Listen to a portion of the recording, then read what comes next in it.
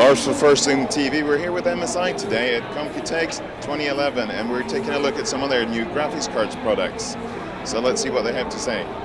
Hello, uh, I'm MSI Visual Product Marketing, I'm Wing, and this year we have the uh, main focus product is the N580GX Lightning Xtreme Edition, and with this one it adapts the 3 gigabyte memory uh, GDDR5 memory, and this can help the uh, users to run the 3D uh, Vision Surround or even run the uh, high resolution gaming.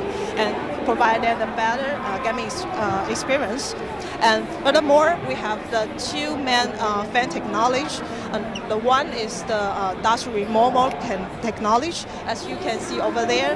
Uh, for like uh, when the uh, system start up, in the beginning, there will uh, in, the fan will uh, spin in reverse and after uh, to keep the uh, dust out to help the system is to optimize the condition and we also have the uh, smart tech sensor technology. as you see, a fan here is still uh, in the in a regular uh, color. It's the blue. When the ambient temperature here is going up to the uh, 45 degrees, the fan color will become a uh, white one. So can uh, remind the user the the system. Maybe they should change the thermal designs or they should re redesign the overclock settings.